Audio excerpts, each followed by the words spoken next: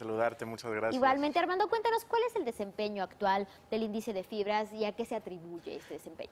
Pues mira, primeramente, como sabes, en 2018 pues fue un, un, año muy volátil para los mercados internacionales y domésticos y en este caso las fibras pues no estuvieron exentas de esta volatilidad.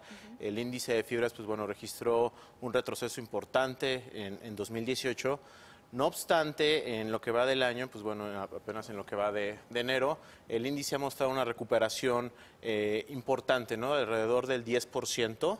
Eh, medido a través del índice de fibras y esto ha respondido a diversas causas y de hecho este, se vincula en, buena parte justamente con lo que hablabas hace unos momentos respecto a la, a la deuda eh, soberana. Eh, como sabemos, pues bueno, el tipo de cambio se ha apreciado de forma importante respecto a los niveles observados en noviembre y esto también en sintonía con el retroceso en las tasas de interés de largo plazo. ¿no? También esto es muy importante porque esto marca una sensibilidad eh, las fibras tienen una sensibilidad muy, muy marcada respecto a las tasas de interés. Entonces, dado este, este retroceso en las tasas de interés de largo plazo, pues se ha visto un mayor apetito, eh, al menos en lo que va del año, por, por las fibras. ¿no? Digamos, todavía estamos en niveles castigados, si bien respecto a los niveles promedio respecto a, 2018, por ejemplo. Sin embargo, pues bueno, hemos visto una, una recuperación eh, cercana al 10%. Entonces, va avanzando. va avanzando y esto se ha atribuido justamente a estos factores de el retroceso en tasas de interés, que eh, al ser contrastadas justamente las fibras con este tipo de instrumentos libres de riesgo, pues se vuelven un poco más atractivas. ¿Y cuáles fibras muestran el mayor rendimiento precisamente por distribución bajo estos precios actuales?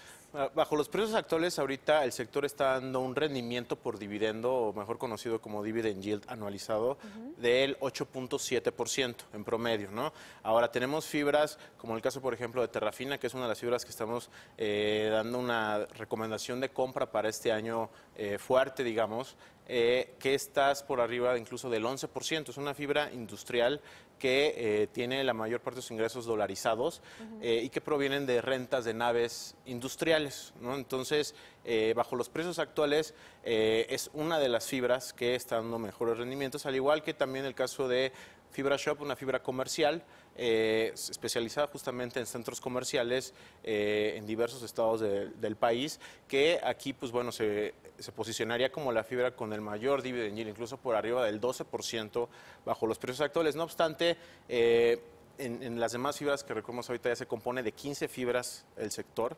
Eh, hay algunas que están dando por arriba del 9%, ¿no? que también sigue siendo muy atractivo, como el caso, por ejemplo, de, fibra 1, el caso de fibra danos, fibras que pues, bueno, tienen una ponderación importante dentro del sector y eh, están dando un rendimiento también muy atractivo por arriba de la tasa libre de riesgo.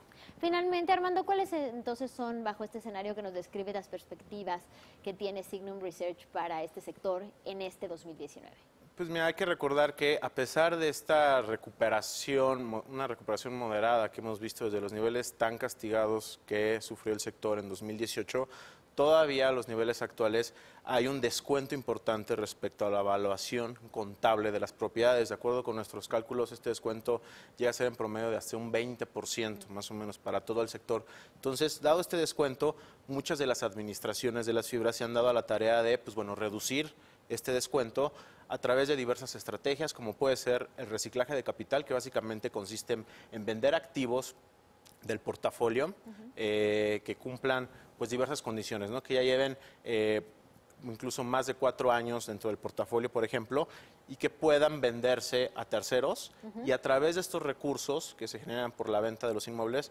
poderlos utilizar para, para recomprar sus mismos certificados ¿no?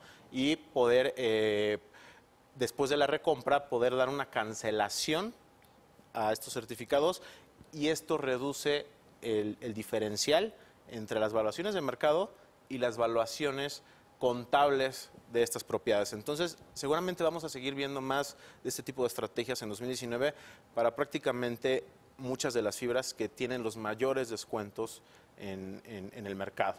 Pues tendremos entonces que estar al pendiente de estas estrategias para el mercado de las fibras. Muchísimas gracias, Armando Rodríguez, como siempre, por tu análisis. A ti, Elena, muchísimas gracias, como siempre.